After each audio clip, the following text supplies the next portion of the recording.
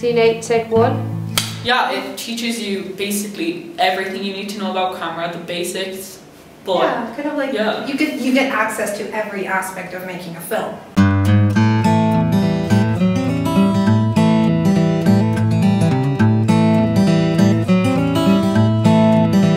So cool to see like the difference between like stage acting, screen acting. I always think Bow Street helps people break out of their shell.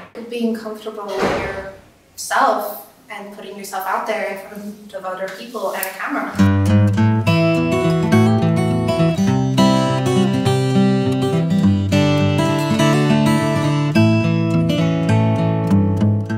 We did a short film. We did different games and exercises. Character work. Yeah, it's like a gym for, for, Yeah. for acting. It also allows you to express yourself more. learning how to get an idea and turn it into a full-fledged story from start to end. I was like nearly afraid of the camera. But I conquered my fear here at Bow Street.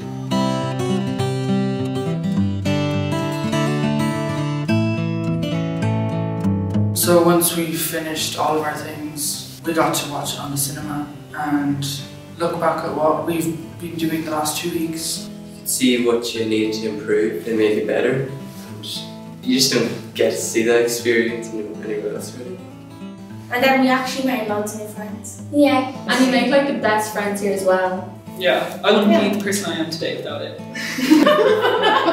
okay, okay, hugs, hugs. There we go. Hugs over.